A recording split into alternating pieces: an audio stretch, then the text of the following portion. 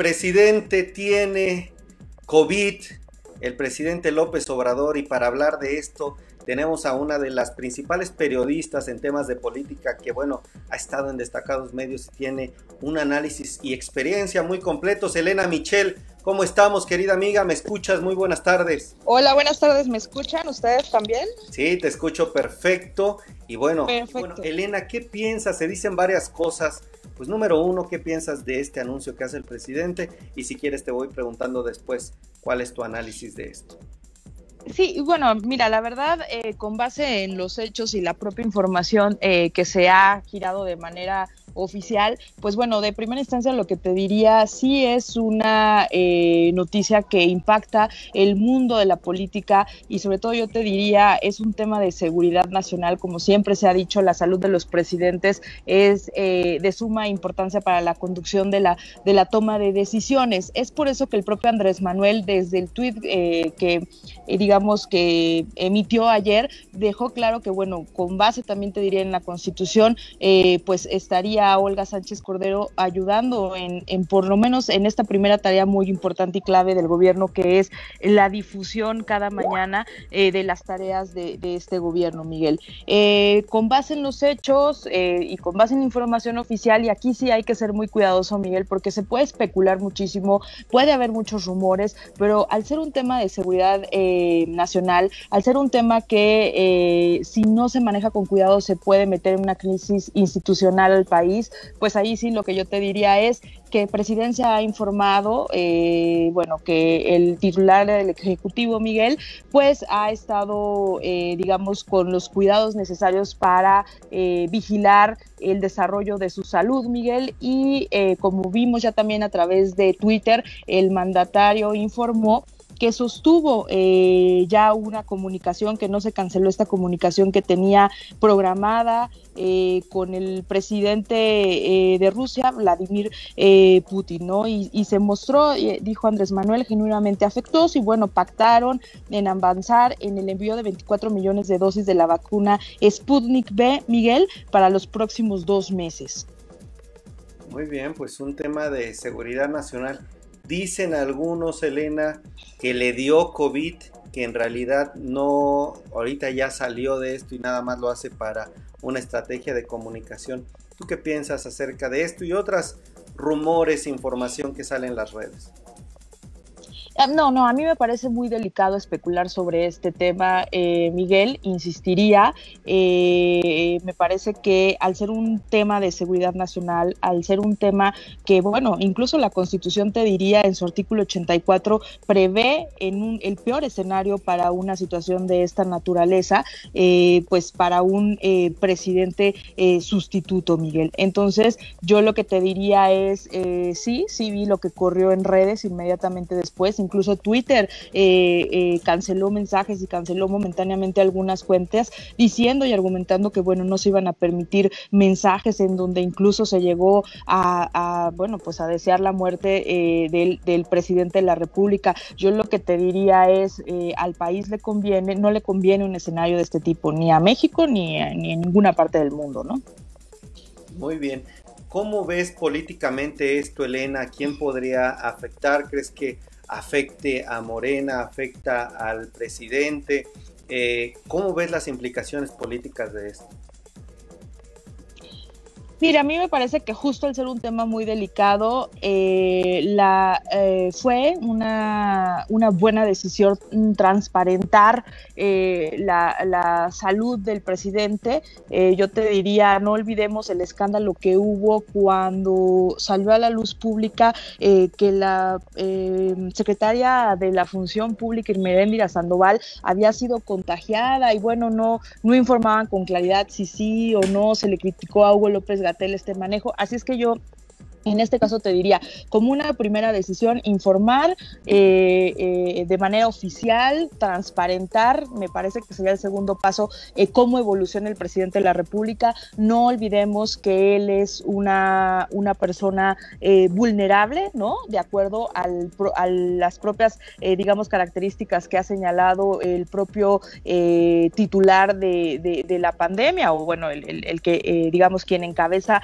todo este trabajo que es Hugo López Gatel, y bueno, pues es una persona que es un adulto mayor y tiene y sufre de hipertensión, esto es público, no estoy especulando, ¿no? El propio presidente durante su campaña presidencial hizo público este, este cuadro después de varias críticas de la oposición y bueno, no olvidemos que López Obrador ha estado siendo eh, revisado continuamente, bueno, periódicamente como debe ser, tras sufrir eh, un infarto también. Entonces, bueno, el, ese es el cuadro, digamos, eh, médico y la mejor manera de no entrar en una, en una crisis nivel política, institucional, es justo eso, es ir informando, ¿no?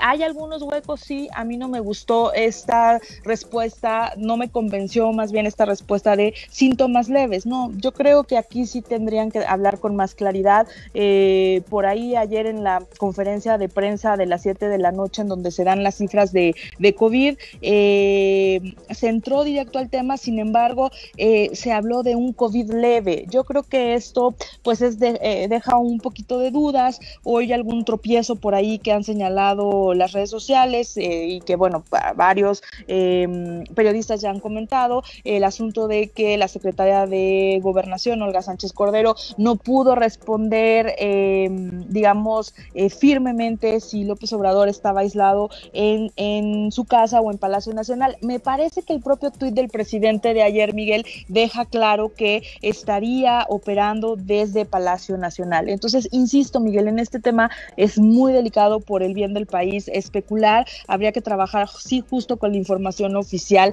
que se ha proporcionado y ojalá el portavoz de la pandemia eh, eh, sea muy frío al momento de manejar esta información. Ya ves que por ahí también eh, se han criticado algunos tropiezos que, bueno, pues han generado parte de los de los em, memes o chistes que corrieron ayer en las redes en las redes sociales. A mí me sorprendió particularmente no ver a Hugo López Gatel ayer en la conferencia de prensa, si bien ya no ya no está los fines de semana, me parece que una información como que el presidente de la República tiene COVID ameritaba que el subsecretario de Salud hubiera estado en esta conferencia de prensa de ayer. Interesante, buen punto. Pues sí, si hacemos conferencias muy seguido, si estamos, creo que hubiera sido algo lógico desde esa perspectiva. Interesante. Elena, ¿cómo ves esta polémica de que el presidente no usaba cubrebocas? Hay quien está a favor, hay quien está en contra. Creo que temas de política tú lo sabes muy bien, pero tu análisis eh, político, estas implicaciones de que le decían, incluso salió López Gatel diciendo, bueno, pregúntenselo a él, y ahora que sale el presidente diciendo que tiene COVID, sin juzgarlo desde mi parte digo, eh, ¿qué hay atrás de manera política? ¿Esto es un golpe para él? ¿Esto es, crees que le resta puntos? ¿Crees que es parte de que eh, la misma, pues los, las personas que están en su contra o aquellos eh, contrincantes políticos puedan decir, pues se lo dijimos, es parte de lo mismo. ¿Qué lees tú? ¿Cuál es tu lectura sobre pues este tema de que no se ponía el cubrebocas? A mí me parece que ha estado eh, claro y avalado desde distintas autoridades con la contundencia que a lo mejor le ha faltado al subsecretario eh, de Salud y, titular del manejo de la pandemia en México, Hugo López Gatel, el, eh, los beneficios del uso del cubrebocas. O sea, me parece que eso ya no es, ya no es tema a debate. Lo que, me, lo, que creo que hubo una decisión política en términos de estrategia de comunicación del presidente de la República de no mostrarse con un signo eh, de debilidad. Esto al presidente no le gusta, eh, nunca ha sido así. Por ejemplo, eh, yo te puedo decir que en algún tiempo él fumó, no sé si lo haga ahora, a, mí, a mí me tocó verlo un par de veces en el 2006 que fumaba y sin embargo no existe una sola fotografía del presidente de la República fumando, ¿no? Entonces él es como muy cuidadoso con eso. Yo que pienso, y de verdad es un punto de vista muy, muy particular, me parece que el presidente finalmente es el líder em, eh, y, es y además es un líder muy seguido por un por una importante sector de la sociedad y debido a la magistratura, bueno, de, ¿no? que que él encabeza eh, o, que recae en sus hombros, me parece que, un buen ejemplo eh, habría sido salir con cubrebocas, como por ejemplo te diría lo hace la jefa de gobierno de la Ciudad de México, Claudia Sheinbaum, y, que ha tenido un manejo muy distinto en ese sentido, incluso ya distanciada del propio subsecretario de Salud. Eh, bueno, pues aquí habría que analizar lo que sigue, Miguel. O sea, el, tema y lo que ha estado, digamos, como discutiéndose en estas horas es que em, pues el presidente de la República hizo una gira y bueno, el periódico Reforma, y sí cito el periódico porque solo, solo insisto, en esto solo se puede hablar con hechos o con algunas versiones que corren. El periódico Reforma em, difundió una información que según fuentes cercanas a la presidencia, López Obrador habría, eh, se habría subido al avión que lo trajo de San Luis Potosí a la Ciudad de México en vuelo comercial, ya con los primeros síntomas del, del COVID. Claro, en el vuelo, eh, si, si recordamos, en todos los vuelos comerciales, Andrés Manuel López Obrador se ha pegado al protocolo y ha usado cubrebocas. Otra cosa que sí me gustaría apuntar, Miguel, es en, en, en algunos momentos hubo fotos públicas de cómo Andrés Manuel López Obrador en el lobby del hotel, cuando estaba con, con algún gobernador o con algunos operadores políticos,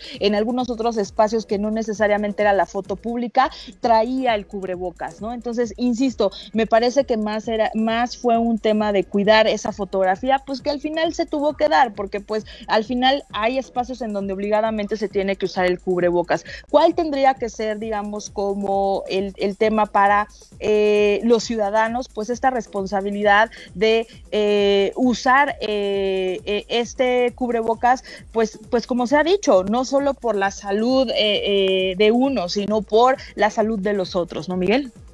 Muy bien, Elena, pues para terminar esta participación, te pregunto tu opinión como experta y entiendo que tú tienes esta visión tanto dentro de los medios como más amplia. Me gustaría preguntarte, eh, en caso, y esperemos que no, que el presidente falleciera, estaríamos frente a una crisis política en México. Ya creo que la estamos en materia económica, pero ¿qué verías tú en los escenarios, tanto en el positivo, en el neutral, en el negativo, en el caso de que falleciera, eh, pues lo que pase. Eh, bueno, a ver, eh, de entrada, de entrada te diría que, digamos, jurídicamente, constitucionalmente, este escenario sí está previsto y la ruta está, la, la ruta para enfrentar un escenario de esta naturaleza está eh, claramente establecida en el artículo 84 de la Constitución. Y bueno, eh, de entrada, de entrada te diría que en caso de, falta absoluta del presidente, eh, el Congreso tendría que nombrar a un presidente interino o sustituto. Recordemos que el Congreso hoy por hoy tiene mayoría morena, que es el partido que fundó el presidente, y este es, digamos, la elección de un presidente interino no tendría que, este, eh, digamos que pasar de 60, eh, 60 días, ¿no? En, en, este periodo en lo que el Congreso se pone de acuerdo, ¿no? Y estamos estamos subrayo, ¿eh? en un caso muy, muy, muy hipotético, e insisto hablando con hechos, que es la Constitución, eh, bueno, pues eh, la secretaria de Gobernación en este caso asumiría provisionalmente la titularidad del Poder Ejecutivo. Y bueno, ya de ahí se desprende otra serie de acciones. ¿Qué pasaría? Pues me parece que sí estaríamos en una crisis política, Miguel, porque tú imagínate, o sea, en el escenario todo el mundo tiene en la mira como precandidatos naturales, bueno, eh, es lo que se, lo, que los medios han dicho, lo que los líderes de opinión ven, eh, lo que han publicado columnas, pues que como precandidatos se observa al canciller Marcelo Ebrard, se observa a la propia eh, jefa de gobierno de la Ciudad de México, Claudia Sheinbaum, y se observa al ahora presidente eh, eh, de la Junta de Coordinación Política del Senado eh, y, bueno, de la bancada de Morena, Ricardo Monreal, por mencionar solo tres. Por supuesto que en el escenario podría haber más, pero los tres representan corrientes muy diferentes o grupos dentro de Morena muy distintos. de los tres, dos muy cercanos a Andrés Manuel, Claudia, desde desde mucho antes que el propio Marcelo, Marcelo Ebrard. Y bueno, pues la verdad en ese sentido, pues el Congreso tomaría una dinámica muy complicada en, temas de negociación política, Miguel. Entonces, bueno, eh, a nadie le conviene, ¿no? A nadie le conviene, por supuesto, un escenario de esta, de esta naturaleza. Em, yo lo que te diría es eh, lo que ha informado los partes eh, médicos que se dieron a conocer ayer y hoy, es que, bueno, el presidente tiene síntomas leves y habría que ser muy transparentes en cómo va evolucionando su salud, e insisto, pero bueno, sí la constitución pues prevé un escenario en un caso de este tipo, ¿no? O en un escenario de este tipo. Pues Elena Michel, periodista experta en política, muchas gracias amiga por estar aquí y explicarnos todos estos temas. Te mando un fuerte abrazo, que estés muy bien. Un abrazo para la audiencia también y para ti Miguel, hasta luego.